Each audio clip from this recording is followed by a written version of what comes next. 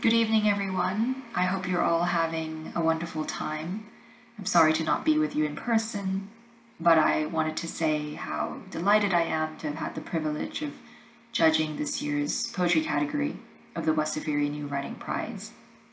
I think it was a challenge, um, as I'm sure the other judges would agree.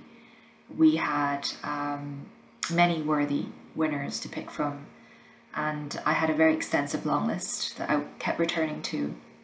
And in choosing the shortlistees, I certainly gravitated to the poems which I felt were urgent and trying to say something that the speaker of the poem deeply believed in. I also was drawn to the poems that um, I could reread and with each rereading found new things to admire and, and new ideas and new feelings to savor. I think the poets who have submitted work this year all exemplify many of the best characteristics of poetry um, in terms of the use of vivid imagery and creative leaps of the imagination and compelling language and innovative syntax. All these were on display.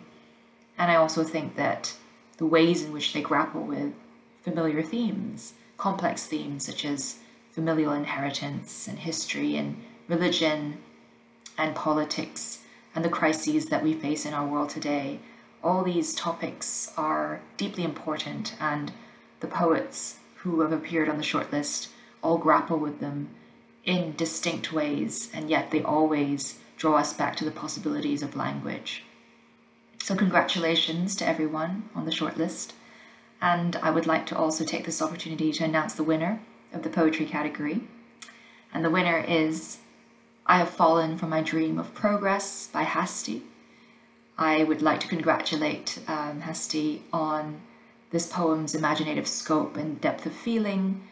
And I also really enjoyed how the prose poem felt like the perfect form for this particular poem. I think that it acts as a window into our present moment and uh, offers us opportunities to ponder the questions that you ask of us.